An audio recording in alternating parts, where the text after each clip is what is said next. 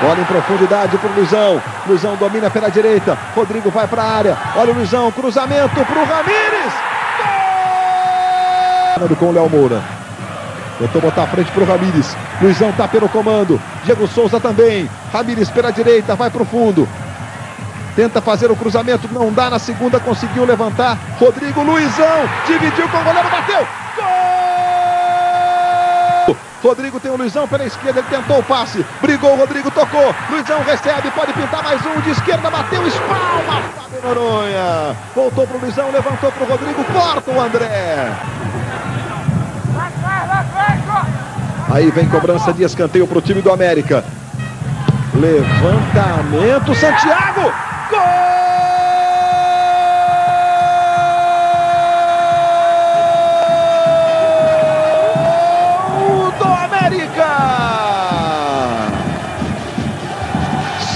Santiago, número 4, um desvio bonito de cabeça na primeira trave.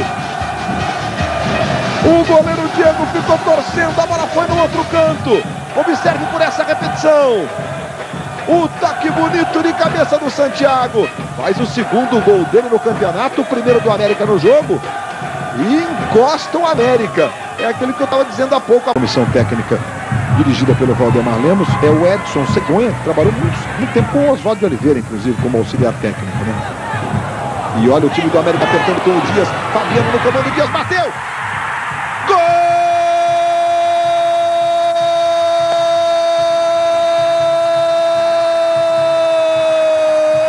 Gol do América!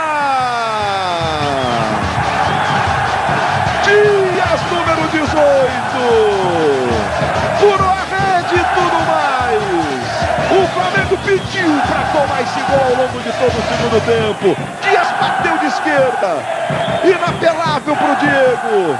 O toque para o Dias na esquerda vem um chute cruzado.